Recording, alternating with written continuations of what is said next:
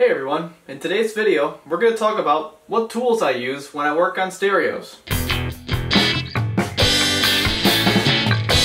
So I get a lot of questions in my comments section on what tools do I use. Well, this video should answer all of those questions and I'll talk about each one of these items on this table here. Now I think it's worth noting that I am not a professional if you haven't figured that out already. This is just a hobby for me and these tools right here are kind of what I consider to be essential for what I do. Uh, others may comment and say, you know, you missed this or you don't need that. Um, and they may be right, and that's fine. Another cool thing about this video is that I'm trying out Amazon Associates for the first time. Most of the items on this table will have a link to them or something similar in the description of this video, and you'll be able to click that link and I'll get a small cut of the purchase if you decide to make a purchase. So if you're looking to buy any of these things, I'd appreciate you using the links in my description to uh, do that. I'm going to start with the smallest, least expensive things first.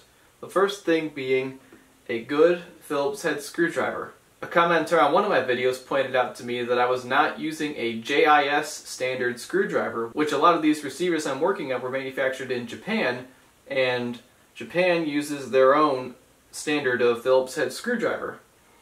Personally, I found this to be very, very similar to a number two Phillips head screwdriver. So if you have a number two Phillips head screwdriver, you should be okay, but if you want to be absolutely proper, get yourself a JIS screwdriver. Next thing that's very important is wire strippers. You want a nice pair of wire strippers because when you're working on receivers, oftentimes you need to cut wires to detach them from circuit boards, then you gotta strip it again to get it reattached to a board or another component. So good wire strippers are very important.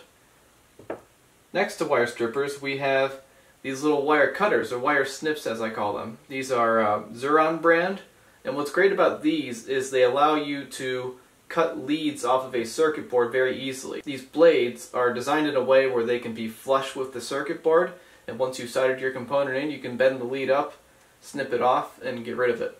Next on the list is a little tiny pair of needle nose pliers. These are angled and I think that helps in some ways. I got these at Harbor Freight years ago. They were not very expensive. I don't have a good link for these in the description, but I think this is something that a lot of people just have on hand. Standard needle nose pliers will work just fine, but I find these come in handy when you're trying to get a component out of a circuit board and you can't quite get your fingers on it, but you can stick these pliers in here and kind of pull lightly as you're desoldering the joints and it'll come right out pretty easily. Next really important tool, well, um, yeah, funny, I was to say the next really important tool is safety glasses because, you know, you're snipping wires, you're soldering, and sometimes when you solder the flux core stuff will splash. You're want to have safety glasses and make sure they're new and clean too. Just do yourself a favor. These are kind of dirty. They're not that new. They're a little scratched up. I could really use a new pair of these. They're really cheap, and it's really going to help me be able to see. And that's definitely worth, you know, $5 in my mind. Next on the list of less expensive things is a set of little tiny screwdrivers. I've got these in the description below. These are great. You've got two Phillips head screwdrivers and four flatheads in here. And what's great about these is you know, the Phillips head screwdrivers, the biggest one can help you get to uh, tiny Phillips head screws inside of the unit, but these flatheads are extremely helpful for bending leads or trying to wrap things around uh, posts in on a circuit board. You can really easily manipulate wires the way you want to if you've got a set of these little tiny screwdrivers. They just come in handy in so many situations. I really highly recommend these. These are on the top of my list for sure. Let's switch from inexpensive tools to some really good materials that I think are really important when you're working on this stuff. First thing being, well, I should have put that out front here, but good solder. This is Kester uh, lead solder. It's flux core, and uh, I've got a link to this exact kind of solder in the description. Uh, since I'm working on mostly stuff from the 70s, it's using lead solder, so you'll want to use lead solder with it also. But another thing you see what this solder is in. This is a Hakko product. It kind of holds the solder in it and then kind of guides it along a track there. And this is weighted also, so and it's got a rubber base, so when you put it down, the solder's just not going anywhere. It's going to stay right there, and this is really handy when you're working on something. You just take the solder in one hand, pull it to the length you need, and you're good to go. Next material is Dow Corning 340 silicone heatsink compound. When you're taking apart a power amplifier and you want to remove the output transistors and apply new thermal compound, this is the stuff to use. This is really high quality stuff. It's a little expensive, but I've had this for years and it has not, you can see I still have quite a bit left, so definitely recommend this stuff to get the best heat transfer from those uh, outputs that definitely need to stay cool when you're playing loud music. And the last material I have to recommend is Deoxit. This is Deoxit D5 and this is Deoxit Fader Lube. Um, I, I recommend watching some videos on Deoxit products to get a better understanding of you know what situations you'd want to use each one of these in. I say if you have a can of Deoxit D5 you're pretty much good to go. This helps clean controls, switches, potentiometers, and uh, Fader Lube helps clean the same controls that use uh, plastic inside, kind of like the balance slider on a Marantz. You'll use F5 instead of the D5. So now let's get into the more expensive tools, some of the tools that many of you have been asking about. Let's start small, literally, with the Peak Atlas DCA55. This is a semiconductor component analyzer. The way it works is you hook your leads up to a transistor or a diode, it can only have two pins, as long as it's a semiconductor, and it'll tell you everything it can find out about that semiconductor. It'll tell you the pinout, it'll tell you the leakage current, the gain. I use this when I'm trying to find a matched pair for a differential pair on a power amplifier board.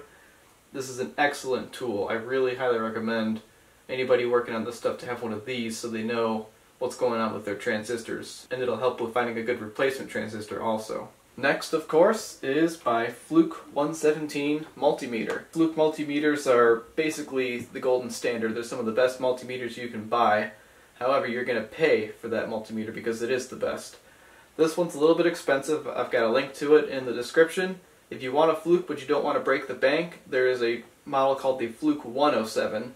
I use one of those at work. It's a little bit smaller than this, but it's uh, pretty capable. It can do just about everything you need when it comes to working on these old stereos.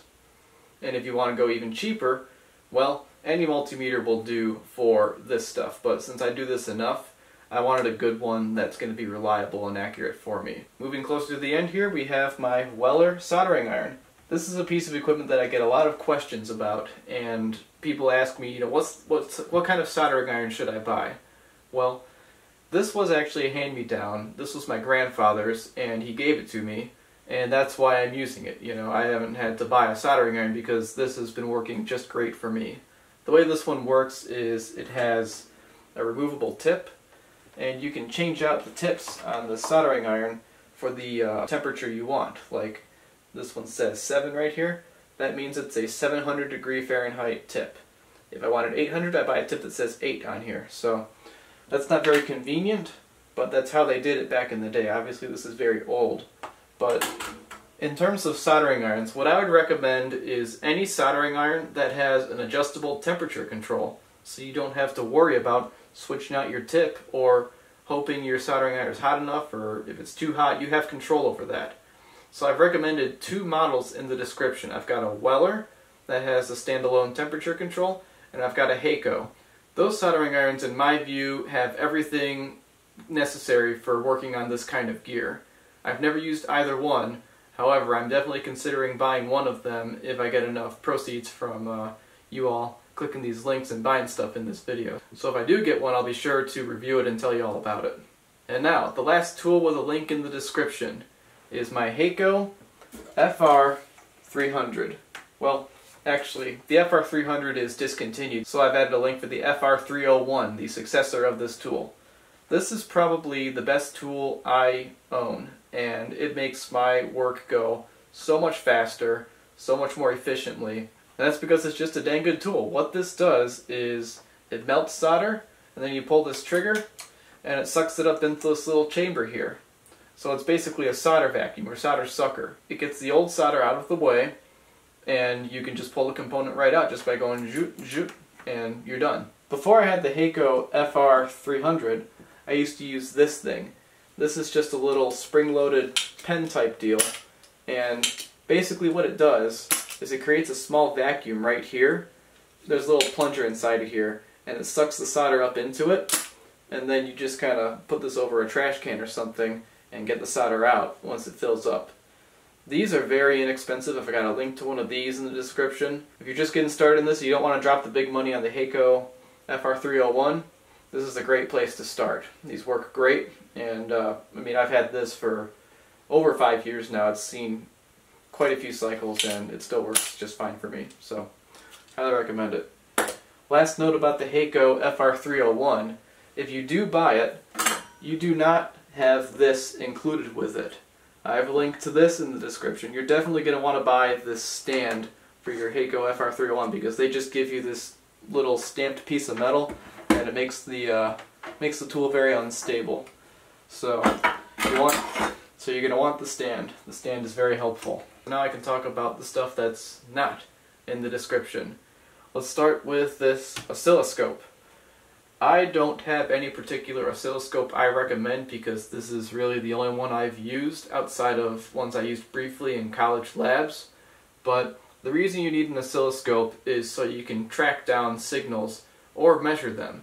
I use my oscilloscope for measuring the uh, power level of power amplifiers at the end of a restoration or the beginning. I've got videos where I do that on this channel. All you need to be able to see really is the waveform for that and be able to know when it's clipping.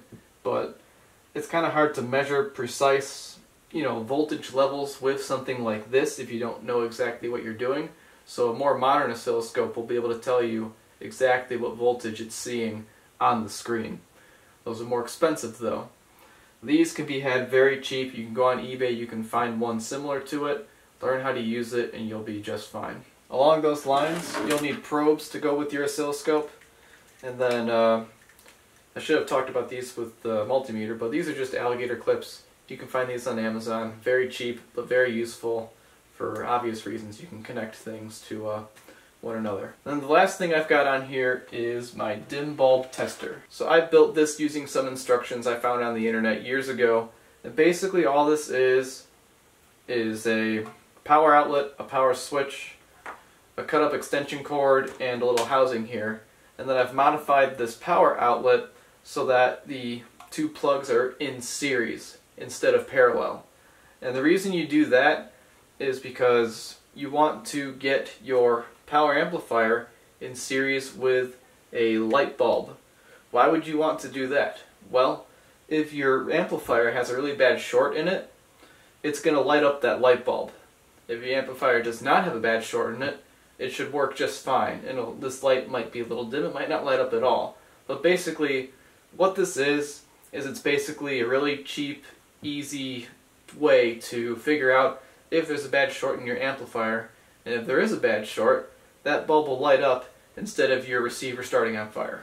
I mean, either your receiver's going to start on fire or it's going to trip your breaker. Hopefully it trips your breaker. But if you don't want to have any of that at all, dim bulb tester. Look up how to build one. It's pretty easy, and it's a great tool if you're going to be working on this stuff. So that's all I've got for this video. So thank you so much for watching. If you want to see me use these tools more, be sure to subscribe and check out all the videos on restorations, reviews, whatever I think is interesting, and uh, whatever I think you might find interesting as well. I'll see you in the next one.